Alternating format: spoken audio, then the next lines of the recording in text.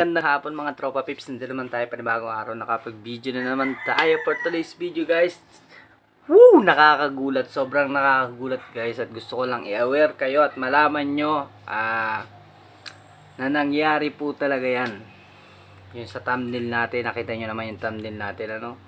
Nangyari po talaga yan na isan lang ni Ate Maylin yung tricycle niya. Na hanggang ngayon, ah, siguro binayaran na nabayaran na. Hindi ko alam kung nabayaran na kasi kung ah estimate ko kung hindi nabayaran yan sa ah, howler na yan.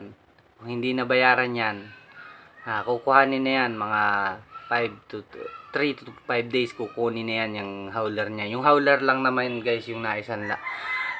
Nagtataka lang ako guys kung bakit naisanla pa niya yun sa sidecar niya samantalang ang dami-dami naman binibigay sa kanya ah, isang hingi niya lang sa pagkain Ah, sa pampuhunan nga, yung mga pampuhunan na hiningi niya kay kay ma'am. Yung mga puhunan, wala naman wala naman na siyang tinitinda ngayon. Ibig sabihin napasaan na yung mga sa puhunan, 'di ba? Nagastos na, wala na naman yung sa puhunan. Ang nakakapagtaka lang guys dito, bakit pa niya sinasanla yung tricycle? Nung nakaraan guys doon sa live ko, ah sinabi ko pa lang doon sa live ko, ha, hindi ako magtataka na isang araw baka kung maibenta na yung o maisanla na yung tricycle na ni Lati Maylin. Hindi na nga nagkamali guys. Yun ang nangyari na isanla yung howler. Sipin nyo naman guys, bakit niya isasanla yung howler na yun? Ibig sabihin, may posibilidad talaga, may posibilidad talaga na isang araw, baka magmalay na lang sila, magmalay na lang yung mga sponsor ni ATM, wala na yung tricycle. Kaya sana, ah, ano rin, kung gusto ko, gusto ko i-aware sila. Ko alam nila para, ah, ah, masabihan nila. Kasi bago pa lang yan dyan pumunta si Ate Maylin. Kaya na barangay si Ate Maylin. Hindi, hindi 2.5 ho ang utang dyan ni Ate Maylin. 10,000. Kaya na barangay si Ate Maylin na puro pangako daw yung iniiwanan niya ni Ate Maylin doon sa tao. Kaya nainis na yung tao na inutangan mismo niya, ibinarangay na siya. At yung napagsanlaan mo nung ah, tricycle mo Ate Maylin, halos hindi pa hindi pa ah, ibang tao dun sa tao na binudol mo nung nakaraan. Kaya naikwento niya na yung tricycle na yung howler mo na yan, kapag hindi mo yan binayaran, 3 to 5 days kukunin niya yan, yung howler mo. O mawawala ng howler yung tricycle mo. Hindi ko alam kung nabayaran na eh. Pero sabi ni Kuya Ben, ah, nakausap ko si Kuya Ben sa bagong silang nung undas, ah, sabi ni Kuya Ben nabayaran na daw. O, ibig sabihin, confirm confirm na confirm kasi mismo kami ni Kuya nag-usap kami nung undas o nung undas sabi ko anong nangyari Kuya Ben ba't na isanla na naman yung howler ninyo Ah, sabi ni Kuya Ben ay Ewan ko niya. Ah, wala naman na niya akong nagagawa. Ah, kumbaga, sabi ni Kuya wala naman na niya akong nagagawa. Pag nag, ano niya, nag, namamalayan ko na lang na ah, nakautang na, na isang na, ganyan. Oh. Kahit Kuya hindi, hindi niya, ano, sabi ko, ang ganda-ganda ako ng usapan natin bago tayo bago kayo, kayo ka ako pinatira dyan sa ah, Dalnak ganda ka ako ng usapan natin. Na hindi na kayo ah, mangungutang kagaya nung ginawa ninyo dito sa amin. Ewan ko niya wala niya akong magawa eh. Ganun naman ang sinasabi lagi ni kami. Wala daw siyang magawa. Um, ganyan ganyan ah nakita nakikita ko sila. Ah, puro lang sila ano ah, wala man silang dalang tinda wala silang dalang tinda puro lang sila ah, punta ng labo punta dito sa bagong silang. Nakita ko sila nakita ko rin sila diyan ah. Nakita ko rin kayo. Hindi kayo makakatanggi sa akin kuya Ben. Nakita ko kayo diyan nagpeperya. Nasa peryahan kayo nung nakaraan. Eh may lang ano yung, yung sa perya naman ano lang yun.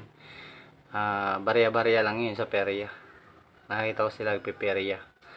Oo, baka sa piyesta magkita-kita pa rin tayo diyan Oo. Ah, gusto ko lang sabihan si Ate Maylin kasi kahit naman anong sabi ko dito, hindi naman na ito nakikinig talaga eh.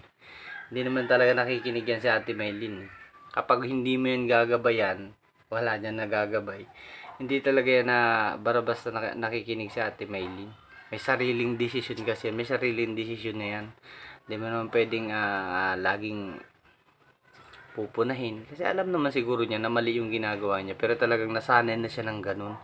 Nasanay na siya ng ah, ganun yung mga gawain talaga niya. Madalas na ganun yung ginagawa niya. sana wag mangyari naman natin Maylin na sana mapan- alam ko mapapanood mo to eh. Sana wag naman mangyari ano na mabenta mo yung tricycle na binigay sa iyo para ah, gamitin mo sana yan pang negosyo nyo. O, di ba? Para pang negosyo mo. Naisanla mo na. Hindi ko alam kung totoong natubos nyo na. Pero naisanla mo na. May posibilidad na talagang ah, darating yung time na baka mabenta mo. Mabenta mo yung tricycle mabenta mo yung tricycle na yan, ay nakakawa naman yung mga taong tumutulong sa iyo. Kahit pa sabihin natin na ah, maling tao, sabihin natin na maling tao kayo o hindi din nyo deserve yung tulong na yan, ah, sana isipin nyo rin naman yung mga taong tumutulong sa inyo. Hindi natin pwedeng sisihin dito yung mga taong tumutulong. Kasi ah, gusto lang talaga ng mga taong to, tumulong lang. Kasi lang pakialam kung ah, hindi deserving ng tao yung tulong na yun or mali yung pagtulong na ano nila. Wala silang pakialam doon. Ang mga mahalaga sa kanila, tulungan lang. Yun lang yun naman yung ah, purpose nila dito. Eh, tulungan tong tao na to. Wala tayong magagawa. Kasi sila naman yung tumutulong, hindi naman tayo eh. eh mas ma... Kumbaga nasa kanila ang karapatan kung titigilan nila yung pagtulong or hindi. Pero hindi natin sila pwedeng sisihin dito kasi sila naman talaga ano eh. Kumbaga, deserve nila yung tulungan yung tao na yun. Gusto nilang tulungan talaga yun. Yun talaga yung gusto nilang tulungan. Eh, wala tayong magagawa guys. Ang pinakakano natin dito, sana naman natin M. Ah, ay, kahit ilang sabi naman natin eh, kahit ilang sabi natin, eh, hindi na hindi naman nakikinig ano. Kaya wala na tayong magagawa. Ah, ano lang natin na ma-aware din sila, ah, malaman din nila na yun yung nangyari ano. Ah, gusto lang natin malaman malaman din nila para alam nila. Ah, kasi sila wala sila dito. Sabihin na natin na ah, ah, ganyanin lang sila natin Maylin, bula-bulahin lang sila ng ganyan, naniniwala na sila at least ah, kahit pa paano malaman, malaman nila na yun yung nangyari. Hmm. Naisanla mo Ate Maylin. Hindi ka makakatanggi. Si Kuya Ben nakausap ko nung isang araw. Sabi ni Kuya Ben, natubos na daw. Pero hindi ko alam kung talagang sigurado yun. Kasi yung nung nabarangay ka, nung nabarangay ka, ikwento mismo sa akin, nung tao na pumunta dito, na sinugod ka dun sa bahay ninyo, na may binudol ka na isang ah, ah, PWD, yung tao na yun na mismong binangga nyo, nung, ma, nung masugod ka doon, nakapag-live ako, automatic ang nagpunta sa kanila at binibigay mo yung 2,000 hindi tinanggap sa'yo. Kasi anong sabi?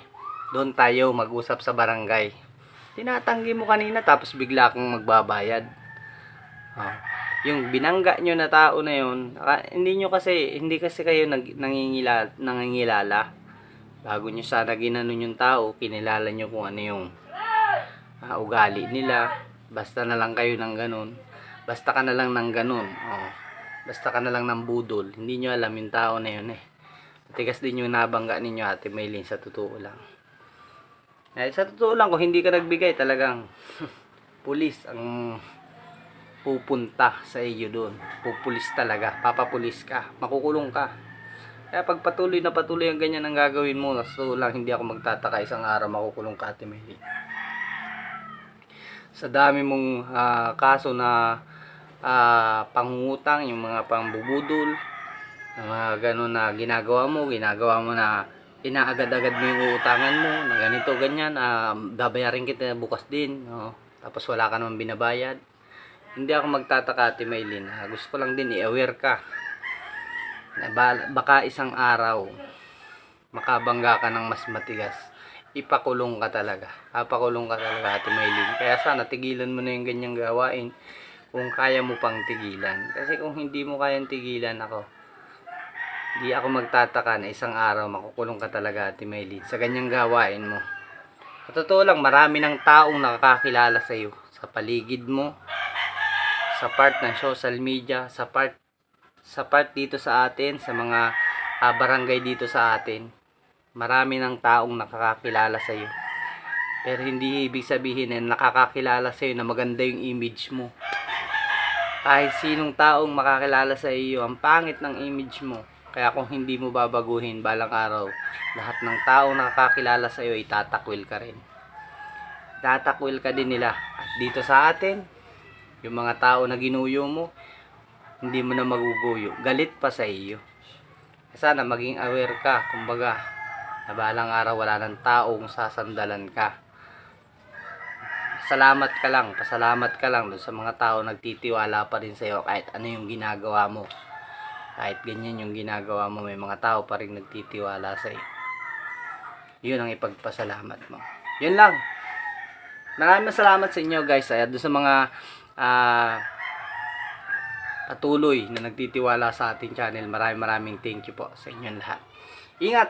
Ride safe dun sa mga kanepyo natin. Inaware ko lang po kayo. Sana po ay maging aware kayo. At malaman nyo rin na naisan lang ni Ate Maylin yung howler na yan. At may posibilidad na bala na isang araw pwede niyang maibenta yan. Sana masabihan nyo rin. Sabihan nyo si ate. Thank you po sa inyo lahat. Ride safe sa mga kanepyo natin. Salamat. Bye-bye.